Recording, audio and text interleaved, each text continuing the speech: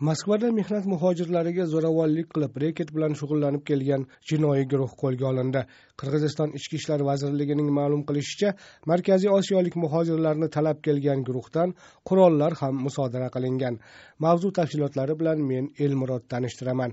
Qirg'iziston ichki ishlar vazirligining moskvadagi rasmiy vakili asqat aliyevning bildirishicha so'nggi oylarda qator mehnat muhojirlari o'zlarini kelib chiqishi markaziy osiyolik bo'lgan odamlardan iborat jinoiy guruh talab kelgani zo'ravonlik bilan pul undirgani to'g'risida moskva politsiyasiga shikoyat qilgan. Arzdin negizinde moskva shahrining politsiyasi tomonidan o'pizalov faktisi bilan qilmish ishi qo'zg'alib o'n to'qqizinchi aprelda shikoyatlar asosida zo'ravonlik bo'yicha jinoyat ishi ochilib o'n to'qqizinchi aprel kuni moskva politsiyasi bilan hamkorlikda tezkor amaliyot o'tkazildi.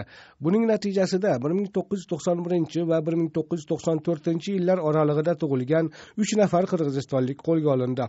Ulardan biri yashayotgan uy tintuv qilinganida yigirma to'qqizta o'qi bilan kalashnikov avtomati va bir to'pponcha topildi. Bundan tashqari bronежилет niqob va boshqa buyumlar ham musodara qilindi. Ulardan jabrlanganlar bo'lsa bizga murojaat qilsin. Kimda kim ularning qo'lidan jabr tortganlar bo'lsa bizga arz bilan qarilinglar deb o'tinamiz. Dedi asqat aliyev.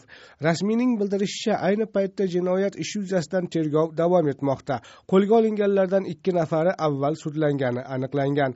Joriy yil boshida moskvada qurilish materiallari bilan savdo qilayotgan mehnat muhojirlarini noma'lum shaxslar qo'rqitib pul talab qilayotgani aytila boshlangan edi. Biroq mahalliy politsiyaga hech kim bu borada ariza bilan murojaat qilgan emas.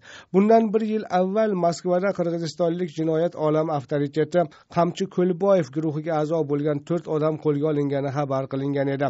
Ozodlik radiosi qirg'iz xizmatining bildirishicha bundan tashqari moskvada chach degan laqabga ega bo'lgan ernest muzahmetov va saqal degan laqabga ega ulan to'xtosunovlarning jinoiy guruhlari ham faoliyat yuritayotgani aytilib kelinadi. Rossiyadagi qirg'iz jamoati rahbarlaridan biri raimqul attaqurov moskvada muhojirlardan iborat jinoiy guruhlar ikki ming yettinchi yildan paydo bo'la boshlaganini va ular asosan biznes bilan shug'ullanishga harakat qilayotgan markaziy osiyoliklarga zo'ravonlik ko'rsatganini aytdi. O'sha yillarda biznes bilan shug'ullanayotgan vatandoshlar unchalik ko'p emas edi. Moskvada asosan vatandoshlar qurilish mahsulotlari sotuvchi bozorlarda va transport bilan yuk tashish sohasida biznes qiladi. Jinoiy guruhlarning mo'ljali ham asosan mana shular bo'lib qolmoqda dedi raimqul attoqurov ozodlik radiosi qirg'iz xizmatining bildirishicha rossiya mutaxassislari qirg'izistonliklardan iborat jinoiy guruhlar moskvada vaqt uslubida ishlashini aytmoqda.